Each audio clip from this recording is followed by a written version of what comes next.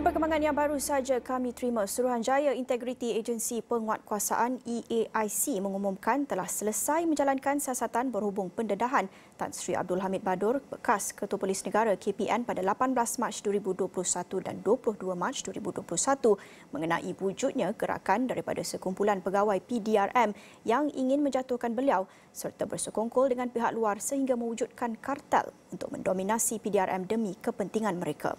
Pengurusi EAIC, Sidik Hassan, menerusi satu kenyataan memaklumkan dapatan siasatan dan keputusan EAIC telah dikemukakan kepada Ketua Setiausaha Negara KSN.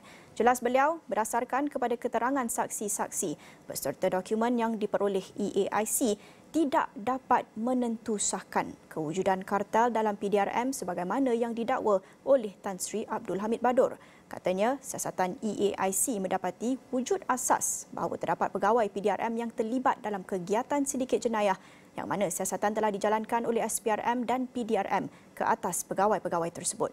Walau bagaimanapun dakwaan Abdul Hamid bahawa pegawai-pegawai tersebut dapat mencaturkan perjawatan dalam PDRM untuk menguasai pasukan demi kepentingan peribadi tidak dapat ditentusahkan.